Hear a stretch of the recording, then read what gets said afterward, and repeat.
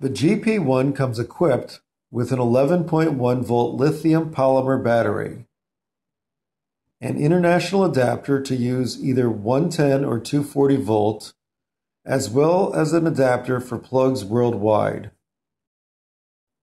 Here we have the GP1 stabilizer. Let's start with inserting the battery. Open the battery compartment. Note the triangle on the battery. Just slide it into the compartment and close it. The GP1 is specifically designed for use with GoPro cameras. It has an aluminum frame that can fit the GoPro 3 or the GoPro 3 Plus. The GoPro 1 and 2 are not supported. You just have to put the GoPro inside this frame, then slide the USB port towards the USB plug and push it in.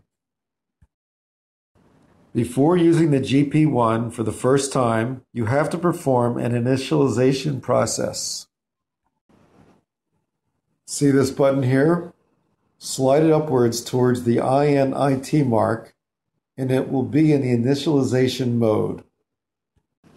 Now I'll demonstrate the initialization process. Place the GP1 on a flat surface.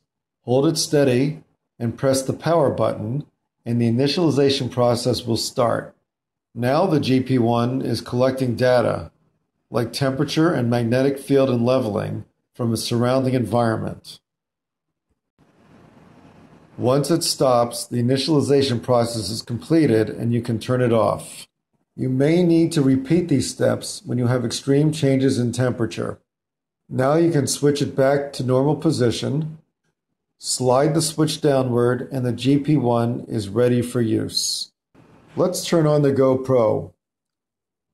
You'll see on the back side there's a 3.5 inch LCD monitor where you can see the image that you're shooting. Compared to the original GoPro monitor, it is larger and the image is much clearer. You can turn the GP1 upward and downward up to 45 degrees by sliding this switch up and down.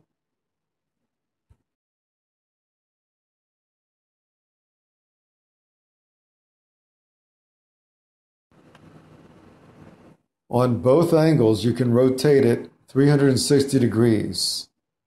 You can use the GoPro in upright position, sideways, or like this for low angle shots.